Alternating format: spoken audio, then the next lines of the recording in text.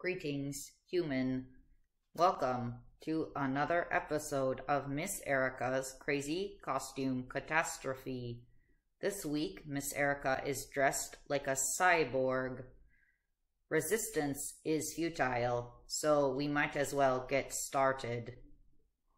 Because God's Word is so great that you want to cling on to it, this week be sure to read Acts 18 together as a family. You can also find fun, creative ways to explore Acts 18 together as a family in your parent email, so be sure to check that out.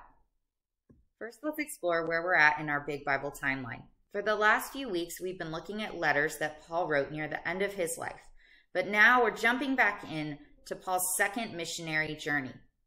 We learned a few weeks ago when we were exploring Romans that there was a couple living in Rome named Priscilla and Aquila that Paul is very good friends with, and he greets them at the end of his letter to the church in Rome. But this week, we're actually going to explore when did Paul meet this couple? How did he meet them? And what happened after he became their friends? So let's explore that today. Let's check out where we're at on a map. Acts 18 actually mentions lots of different places.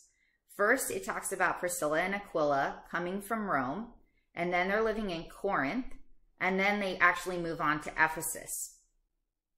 I got my friends Eliza, Abigail, Naomi, and Moses to read to us from Acts 18. They made a cool video acting out parts of it too, so we can see what's going on. Take it away, guys. After this, Paul left Athens and went to Corinth.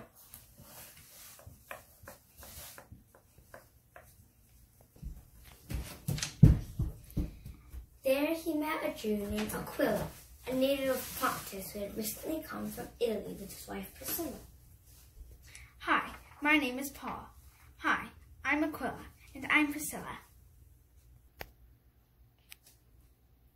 Because Claudius had ordered all Jews to leave Rome. All Jews must leave Rome.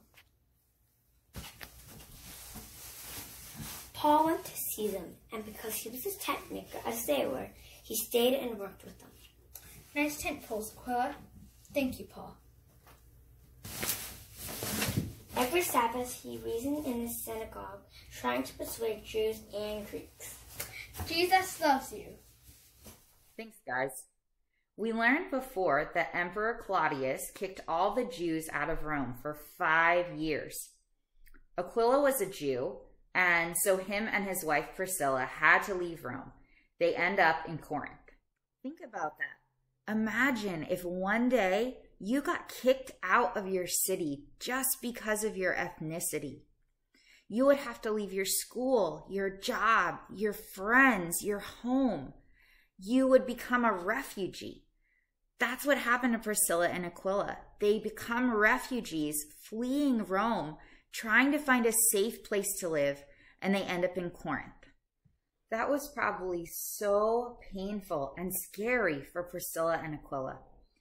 So when they get to Rome, their job is that they make tents. So they start making tents in Corinth. One day, Paul comes through. He's on his second missionary journey, and normally he would only stay in a town for a few days or weeks. But Remember, Paul knows how to make tents too, so he starts working with them. And then Jesus actually tells Paul to stay there. So Paul stays in Corinth for one and a half years, working with Priscilla and Aquila, making tents, but also telling everybody he can about who Jesus is. Eventually, if you keep reading Acts 18, you see that Paul leaves Corinth after a year and a half. He goes to Ephesus, but he takes Priscilla and Aquila with him. And then he actually leaves them in Ephesus and he keeps traveling. And they become leaders there, training people and discipling them. And then we see at the end of Romans that they end up back in Rome. And Paul actually says in Romans 16 that all the Gentile churches are grateful for the leadership of Priscilla and Aquila.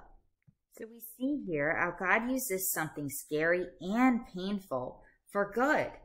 Churches in Corinth, Ephesus, and Rome all grow because this husband and wife gets kicked out of their home. Jesus can use painful and scary things to grow his good kingdom. Think about this past year. Has anything happened to you that was painful or scary? Maybe you have seen how Jesus used those painful, scary things to grow his good kingdom, or maybe you haven't seen him do anything good with those things yet. But either way, it's so important to remember and believe that Jesus can use painful and scary things to grow his good kingdom. Because cyborgs love science, this week we are heading to the final frontier, my backyard, for a science experiment. Now, you guys can watch along at home and still do the prayer activity. But if you want to do the whole science experiment, you need your mom or dad's permission, and then you can go to this website for the full instructions.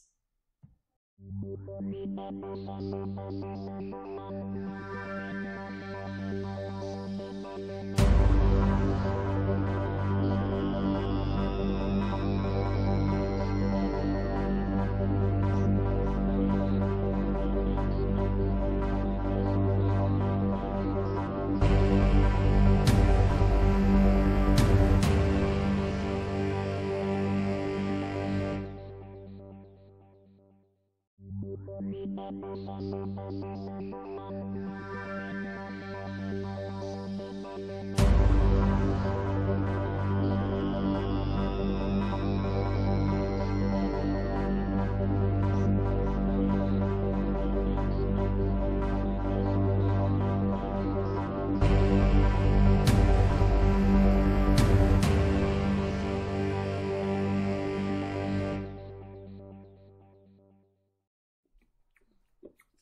Eat your vegetables, humans. Do we have to? Resistance is futile. Ugh, she's so annoying. Turn Yeah, I her know. off. Okay. Beep. Yeah, Cyborg Dad and Brother are so much better. Beep.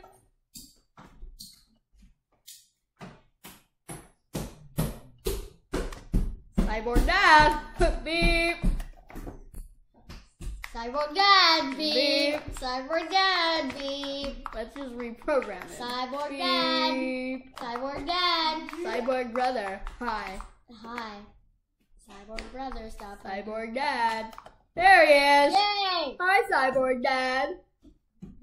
Hey, Cyborg Dad, can we do whatever we want, aka ice cream for the rest of our lives? Of course, you can do whatever you want. You can have ice cream every day and cake for the rest of your life. Thanks, Cyborg Dad.